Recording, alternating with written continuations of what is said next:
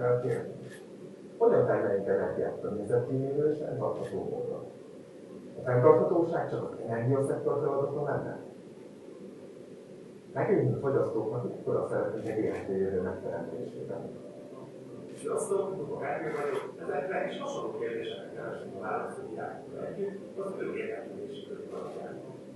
Hallgatók. Budapesti Műszaki Egyetemen emelkedett a szakon végeztem, jelenleg épületépítés mesterképzésen folytatom tanulmányaimat. Tagja vagyok a BME épületépítés szakosztály vezetőségének, Krisztával egyszer saját magam és az egyetem közösségének is.